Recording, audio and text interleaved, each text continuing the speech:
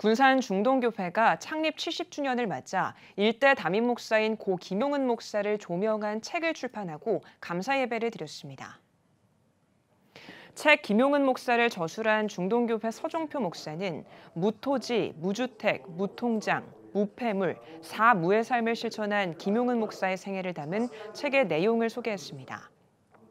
감사 예배에서 김용은 목사의 장남 김영곤 목사가 하나님의 능력을 믿고 나가자라는 내용의 말씀을 전했으며 차남인 김헌곤 목사는 기도와 봉사로 교회 부흥을 이룬 김용은 목사의 초기 사역을 소개했습니다.